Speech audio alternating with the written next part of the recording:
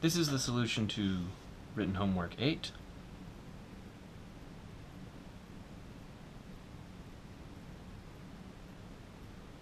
Okay, so the percent concentration of a drug is given like so. Find the time at which the concentration is maximum. Okay, well, I'll solve A by making a slope chart. so I'll make a slope chart. So A part 1, the first check is the natural domain.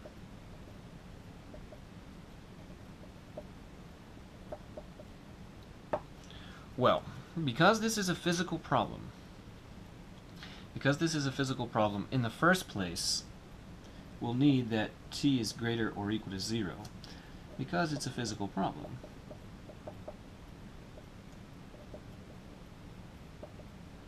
That is to say, that we're actually carrying out a physical experiment. The drug is being administered. And there's, it makes no sense to talk about the concentration prior to the drug being administered. So that's the first requirement. And now let's look. Can the denominator ever be zero? So we're addressing that question. Let's consider 3t squared plus 27. Well, that is 27, and this we're squaring a t. So that means that if t is positive, t squared is positive.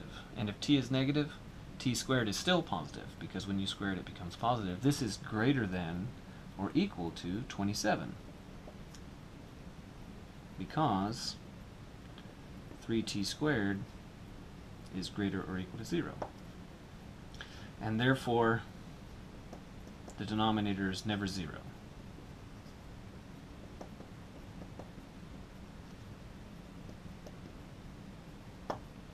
And as a result, the natural domain is t greater or equal to 0. Okay, so 8.2. Now we're going to find the critical points. Critical points.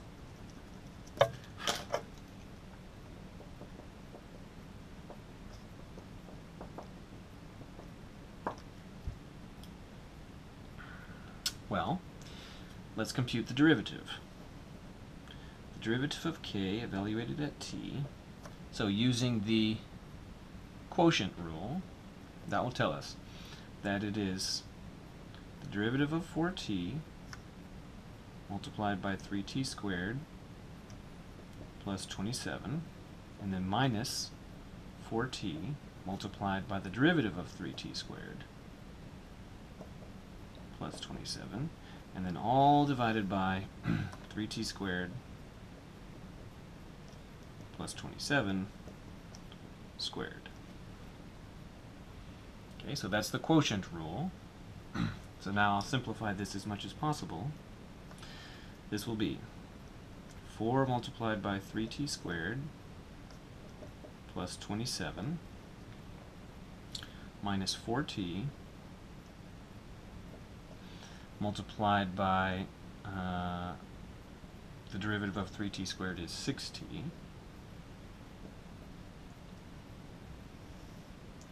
All of this over 3t squared plus 27 squared. That will be uh, 4 times 3 is 12t squared. So 12t squared and then plus 4 times 27, that should be 108. Let's check. 4 times 27, 108. And then minus 4 times 6 is 24 t squared.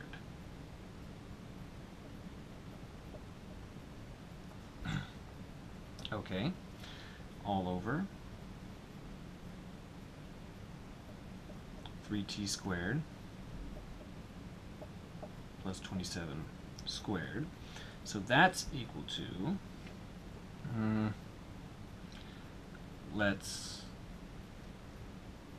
so we've got 12t squared minus 24, so that's negative 12 t squared plus 108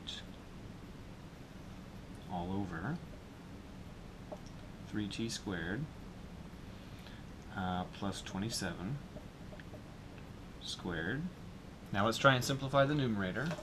So I'm wondering if 12 and 100, if 108 is divisible by 12. Let's check that. It is. So you can factor out a 9. Uh, sorry, when you factor out 12, you get a 9. So I'm going to factor out negative 12. So negative 12 and then that would be t squared minus 9 over 3t squared plus 27 squared. So all of these are the derivative of t, or the, the derivative of k evaluated at t. And then now finally t squared minus 9, that factors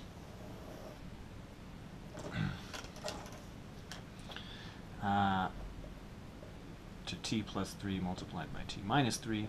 So this would be negative 12 multiplied by t plus 3 multiplied by t minus 3 and then over 3t squared plus 27 squared. Okay, so that's the simplified derivative. Now we need to address two questions. Is there anywhere that the derivative is undefined? Well, again, the only kind of place that that could occur is if the denominator is 0, but we already addressed that that kind of denominator can never be 0, so there are none. And then, is there anywhere where the derivative of k at t is equal to 0? And the answer is that that occurs at t is 3. And you should note here that t equal to negative 3, even though that looks like that's a place where the derivative would be 0, that's not in the domain. So that's not part of the part of the exercise. Okay, so then a.3 we can now make the slope chart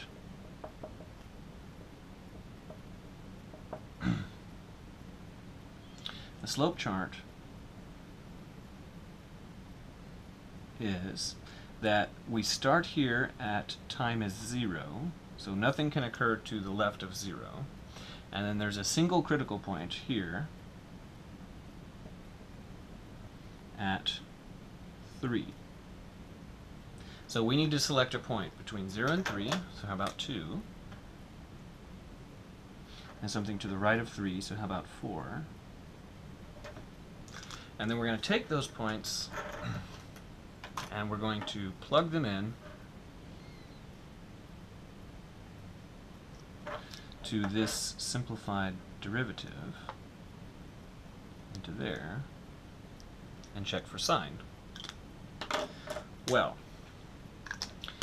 Negative 12, that's negative. And then if you plug in 2 into t plus 3, that's positive. If you plug 2 into t minus 3, that's negative. And then if you plug 2 into the denominator, that's something positive squared. Then if you plug in 4, well, negative 12 is negative, so I'll write negative for the negative 12. If you plug in 4 to that one, that's positive. If you plug in 4 to t minus 3, that's positive. And if you plug in 4 into the denominator, that's positive squared. Then the overall sign, the overall sign uh, in the left region, because there's two negatives, uh, is positive, so there's positive slope.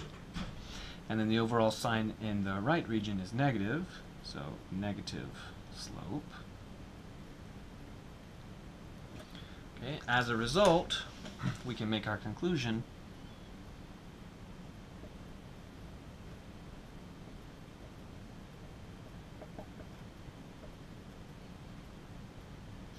is that the relative maximum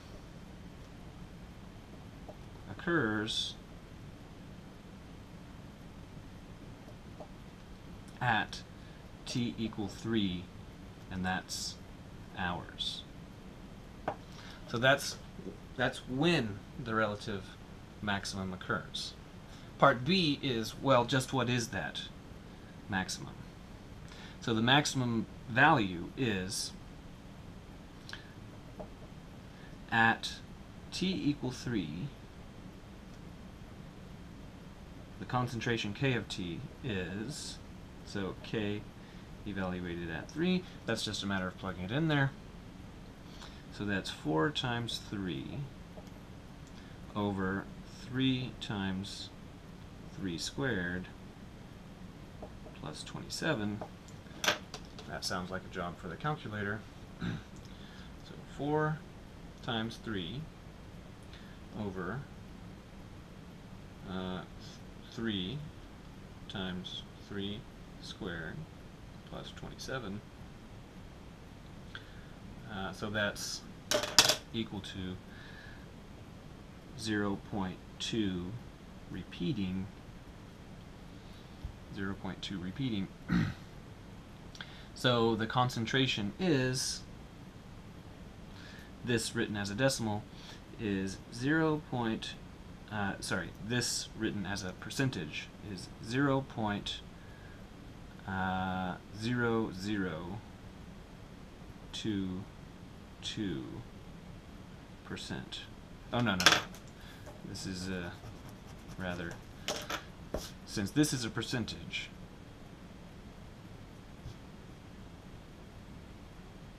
Yeah, so it's, it's just that. Uh, 0.22%.